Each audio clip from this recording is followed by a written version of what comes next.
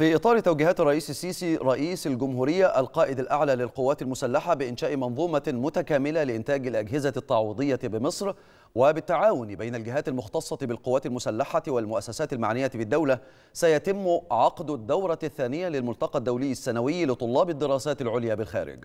الدورة تعقد عبر الإنترنت تحت عنوان تكنولوجيا الأطراف الصناعية والأجهزة التقويمية ومساعدات الحركة.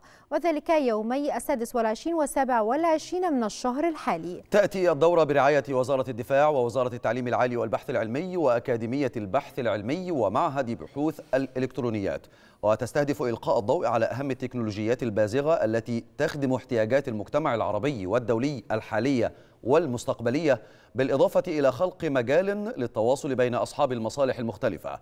مع توفير فرص للتعاون بين مختلف الباحثين في مجال الأجهزة الطبية والأجهزة التقويمية والأطراف الصناعية ومساعدات الحركة. ويقدم الباحثون المصريون والأجانب خلال الملتقى أحدث ما تم التوصل إليه البحث العلمي من تكنولوجيا الأجهزة الطبية والأطراف الصناعية والأجهزة التقويمية ومساعدات الحركة. ويشارك بالملتقى عدد من الشركات وذلك على منصة ويبكس عبر الإنترنت.